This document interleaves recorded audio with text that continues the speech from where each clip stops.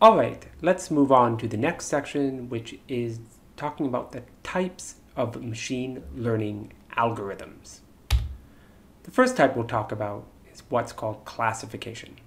Classification is a type of supervised lear learning problem. In supervised learning, you're trying to learn a mapping from features X to target Y. We already saw a lot of examples of this just in the last section. What's particular about classification is that the target is discrete, meaning that it can only take one of a finite number of values. For example, when you say it's binary, it can only take one of two values. Just as an example, consider the credit assessment problem. In the credit assessment problem, you want to predict if a customer at a bank is high risk or low risk. So there are two possible values, so it's a classification problem.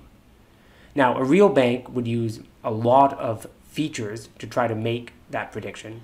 But just as a toy example, imagine it had just two features, the income of that customer and its savings in the bank account. We could visualize the data for this problem like this. We have we take each feature as a rep, represent each feature as a vector, x1, x2, and each customer would be a point in this x1, x2 space. That is its income and savings. We could also label the points with, say, one color, red, for the customers that have high risk, and a, another color, say, purple, for the customers that have been low risk maybe that was determined by whether they defaulted on a past loan or something like that. What we want to do in the supervised learning problem is to learn the function that maps these features to these targets. So in the credit assessment problem, that would be looking at a way to look at the income and savings and make a prediction if the customer is high risk or low risk. Based on this very simple toy data, it's not real data at all, we could make a prediction rule like this. See, all the low risk customers are in this top quadrant here, and all the high risk customers are below this. This particular type of decision that we would learn is actually called a decision tree because you first look at whether the income is above a certain level, and then you look at whether the savings is above a certain level. We'll turn to talk about this in the very last unit of this class. Regression is another type of supervised learning problem. The difference here is that you're trying to predict a continuous value target as opposed to a target that would have one uh, finite number of values. For example, suppose you want to try to predict happiness. Well, happiness is pretty subjective, but let's say that there's some um, measurable way of quantifying that, maybe through surveys or something like that. This is actually what was done in some uh, statistics website. That actually has a great statistics website for reading about regression, which we're going to actually talk about in the next unit. Now, how would you predict happiness? Well, there's probably a lot of features that go into predicting happiness. But you could imagine, for example, you could imagine income, maybe the country you live in, maybe your age. Here's a graph where this, uh, in this website, they try to predict happiness based on income. And they have a number of dots, one for each person, and then they try to learn a relation. In this case, they try to learn a relation by picking a linear mapping, that happiness is a linear function of your income. Well, you can believe that or not. You can read the website um, more if you want to learn about that. Both the last two examples are examples of supervised learning because you're learning to predict a target from a feature. Unsupervised learning is where you just have values of x, if you like, no target. It's trying to learn just patterns or what normally happens in that data. Common example is clustering. For example, this is a um, image from an IBM website which does the following. it gets a number of unorganized or uncategorized documents. I'm sure you have a lot of those kind of documents, maybe on your computer. And what you might want to do is have a computer try to categorize them in some way. So it just takes these documents and finds categories or groups of these documents and assigns each document to those categories. This is an example of unsupervised learning because the data just consists of values of these documents. Each document may be represented in some way, but there's no specific target with those documents that you're trying to predict. This particular type of unsupervised learning clustering is actually used in a lot of interesting applications. For example, customer segmentation, in image compression, in bioinformatics.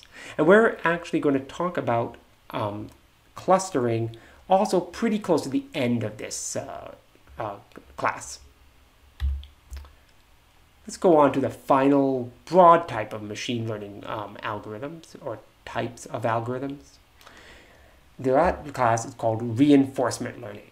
In reinforcement learning, which is taken from this image, an agent tries to learn to make actions that interact with an environment to maximize a reward. Just to make that concrete, a very typical application is when you're trying to write, make a computer program play chess. In this case, the environment is the chess board, if you like. And the actions that the computer is trying to do is pick the next move. For example, move the bishop to this square. It has to do this based on looking at the current position of the board. And at the end of the game, it will also get a reward whether it won or lost. All these types of um, reinforcement learning systems typically act in some closed loop manner because there's actions which then feed back and get rewards. Reinforcement learning has a lot of other complexities that are not present in the other types of machine learning problems. There are two key ones. The first is that you have to trade off what's called exploitation, which is what you learn from your past actions, but also you want to try to explore new actions, ones that you don't know whether they will be good or bad until you try them. A second very challenging aspect of reinforcement learning is what's called credit assignment. That is trying to understand which actions in the past led to the current reward. You could imagine if the computer continued to play this game, it's only at the end, the final checkmate, where the computer learns whether it won or not. And then somehow it has to go back over all the moves in that game that it did and find out if it lost, what move made it lose, or what set of moves, and how it would try to adapt those for future games. This is a nice chart from uh, this Belgian website, which kind of gives you a nice summary, if you like, of these types of um, machine learning algorithms. In one fork, if you like, or one branch of this tree, we have supervised learning and we have classification and regression. We also have unsupervised learning and we have reinforcement learning. This also gives you a number of types of examples, and you could consider some of these examples if you want for your project. Finally, let me just wrap up with what is the hype in machine learning today. There are a large number of classes, and this class itself is very large. So you're probably wondering why so many people are interested in machine learning. Well, machine learning has had a lot of pretty remarkable successes of things that would be pretty unimaginable even just five years ago. Autonomous driving is not yet commercial, but we're seeing a lot of success and progress of cars or computers that could learn to drive like humans. We're seeing them win in games like Jeopardy, which are very complicated because you have to learn how to process language um, and really sort through a large amount of information. It's also been able to win games like um, Go, the famous uh, Chinese game, which people thought would never be possible uh, for a computer, and also be able to translate. You probably use many of these services already, and maybe it was some of these things that attracted you to this class. The question is why was it able to do all of these remarkable things now, um, given the length of time that people have been thinking about machine learning? Indeed, machine learning is a very old field, and a lot of the pioneering work, including things that we'll talk about in this class, go back at least to the 1950s. So, what's new? Well, there's really two things. The first is the access to large amounts of data.